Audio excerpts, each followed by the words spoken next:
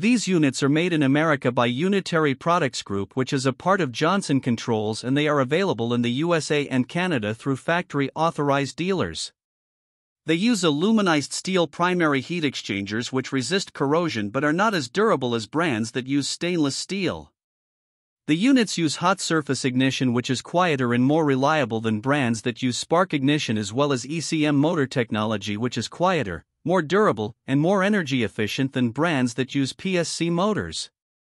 The brand is backed by a pretty good warranty that includes their complete assurance guarantee, where the entire furnace is replaced if the heat exchanger fails within the set time period.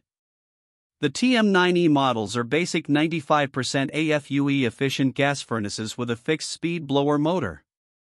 The TM9Y is a premium two stage furnace with a two speed inducer and a fixed speed blower motor, while the TM9V model has a variable speed blower motor and the ability to communicate with the other parts of the home's HVAC system to maximize comfort and efficiency.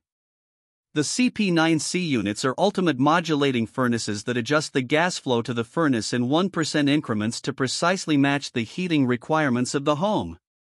This provides longer heating cycles, which provides more even temperatures throughout the home. All of the furnaces are multi position, which allows the same unit to be installed in different positions, which allows the dealers to hold less inventory, which can reduce the cost to the consumer, but the warranty is not as good as some of the other brands that are available. This brand receives an overall 3 star budget pick rating from HVAC Repair Guy.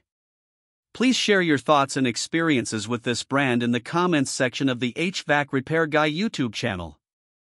Thanks for watching and God bless.